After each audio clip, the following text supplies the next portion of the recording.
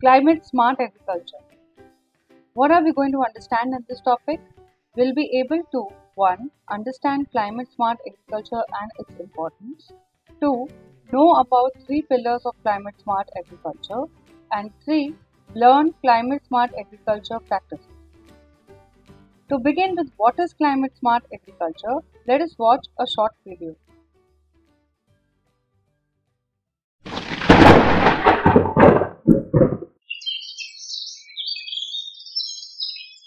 Five hundred and seventy million farms around the world are facing the threat of climate change head on. And yet we are demanding more from agriculture than ever before.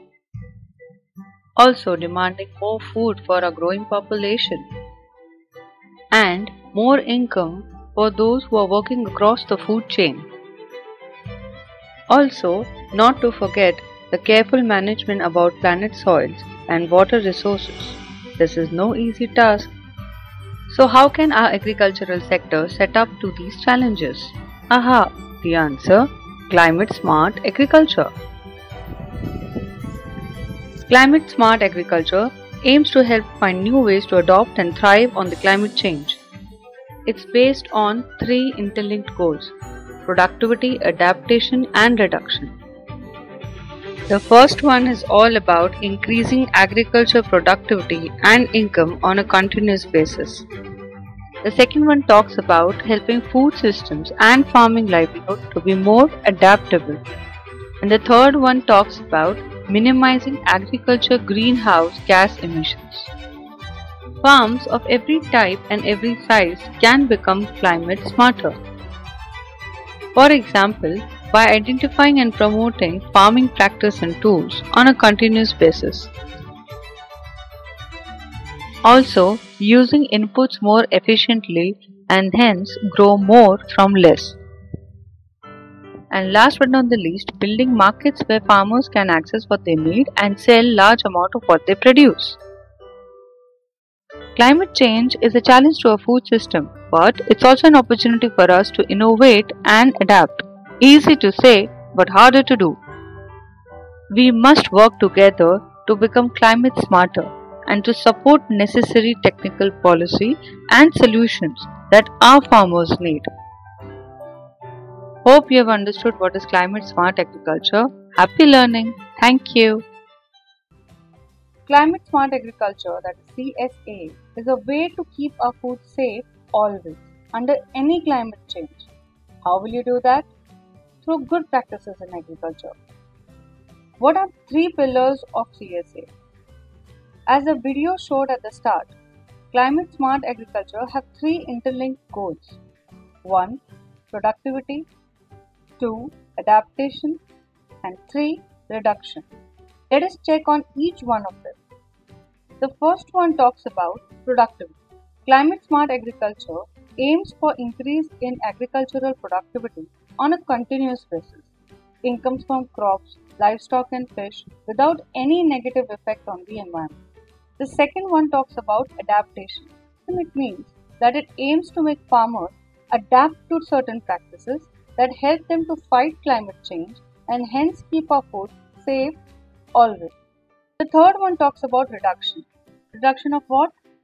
Yes, reduction of greenhouse gas releases wherever and whenever possible. Avoid cutting of trees and manage soils and trees for a healthy atmosphere. So before we go ahead and learn about climate smart agriculture practices, let us quickly pause the video and revise in our minds on the following. 1. What have you understood about climate smart agriculture? And second, which are the three pillars or goals of climate smart agriculture? Now let us learn about the practices of climate smart agriculture. Climate smart agriculture practices includes majorly four things. 1. Crop management. 2. Livestock management. 3. Soil and water management. And 4.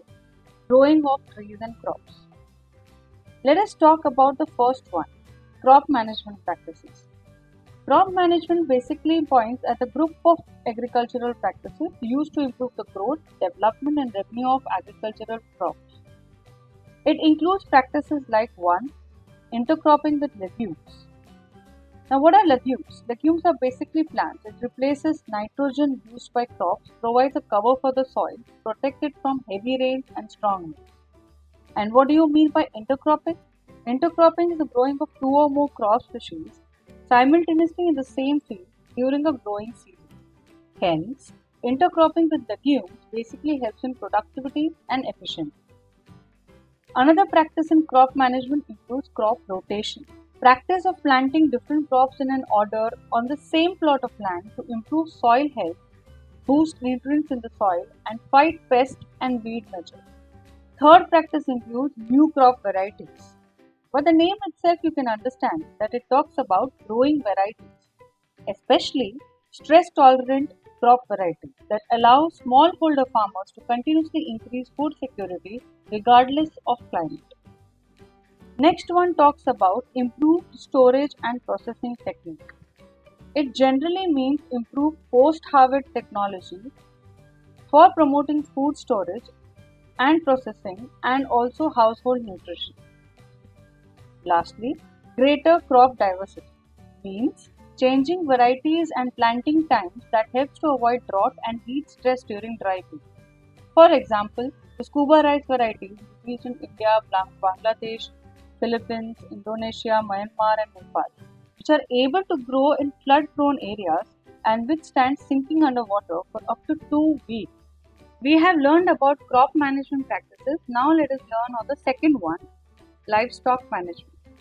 Livestock management involves managing farm animals and supervising farming work. Practices include 1.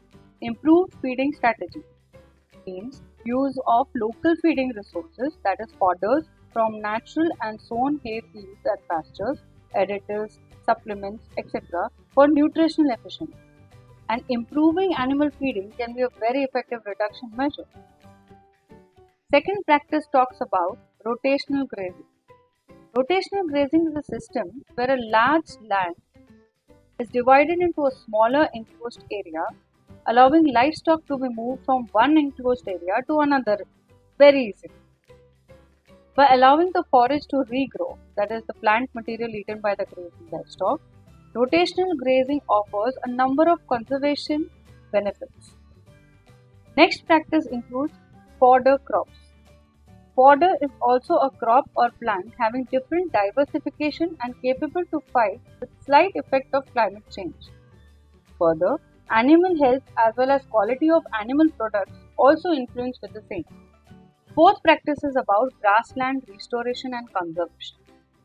Grasslands provide many ecological services, including reduction in soil erosion, improvement in soil and water quality, and also increased wildlife habitat for certain specialized grassland species. The fifth practice looks into manure treatment, how manure is captured, stored, treated, and used. It has important effects on the farm productivity and the environment. When applied according to the agronomic needs of crops, manure can improve productivity by reducing the need for commercial fertilizer. The second last practice talks about improved livestock health. By the name itself, it is understood that it aims to boost the flexibility of livestock farmers by improving animal health, including improvements in feeding trust strategies, breeding, manure, and waste management. The last one talks about animal husbandry improvements means protecting animals against parasites and diseases, maintaining a healthy life, make and collect manure, train oxen, choose best animals for meat, milk, and work. So now we have understood quite a bit in crop management and livestock management practices. Let us pause the video and revise in our minds what the same. 1. What is crop management and what are its benefits? 2. What all comes under livestock management practices? Now let us understand on soil and water management practices. Soil and water management are activities at the local level which maintain or enhance the productive capacity of the land, including soil, water, and vegetation. Let's look at the practices. 1. Conservation agriculture. This includes minimum tillage and soil disturbance. Second, permanent soil cover with crop residues and live mulches. And lastly, crop rotation and intercropping. When we say tillage, tillage means agricultural preparation of soil like digging, stirring, and overturning. And when we talk about mulches, mulches means layer of material applied to the surface of soil for conservation of soil moisture, fertility improvement, and health of the soil. The second practice talks about contour planting. This includes farming practice of plowing or planting across a slope following its raised curve line in order to conserve rainwater and to reduce soil losses from surface erosion. Benefits include reduction in soil erosion by as much as 50% from up and down hill farms. Also, it promotes better water quality.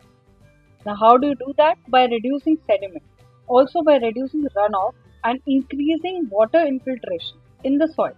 Next one talks about terraces and bunds. In terracing, wide steps are cut around slopes of hills to prevent soil erosion.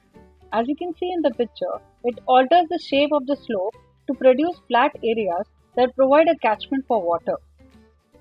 Bunds are most common technique used in agriculture to collect surface runoff, increase water infiltration and prevent soil erosion. Planting pits used as a rainfall harvesting method to prevent water runoff and thereby increase infiltration and reduce erosion. Basically, holes are dug 50 to 100 cm apart from each other with a depth of 5 to 50 cm in order to prevent water runoff. Water storage. By the name itself, it means storage of water and efficient use of water so as to increase production and face increasing irregularities of rainfall patterns. Another method talks about alternate wetting and drying. It is a water management technique practiced to develop irrigated lowland rice with much less water than the usual system of maintaining continuous standing water in the crop field. It is a method of controlled irrigation. Pits and ridges. Now, what are these pits and ridges? Planting pits are used as a rainfall harvesting method to prevent water runoff and thereby increase infiltration and reduce erosion.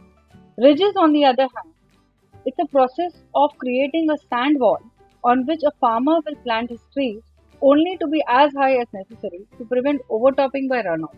Last and important one, improved irrigation. Irrigation is the artificial process of applying controlled amounts of water to the land to support in production of crops. It is an act of timing and flexible irrigation water application in a way that will satisfy the water requirement of the crop without wasting water, without wasting energy, plant nutrients or corrupting the soil resource and revegetate disturbed soil in dry areas and during periods of less than average rainfall. The last practice that we are going to learn about is growing trees and crops, usually called as and named as agroforestry. It is intensive land use management system combining trees and or, or shrubs with crops and or livestock. Different species of trees can be planted with many types of crops in a variety of patterns. Practices here include 1. Boundary trees and hedgerows. What are these? A line of closely spaced shrubs and sometimes trees planted and trained to form a barrier or to mark the boundary of an area such as between neighboring properties.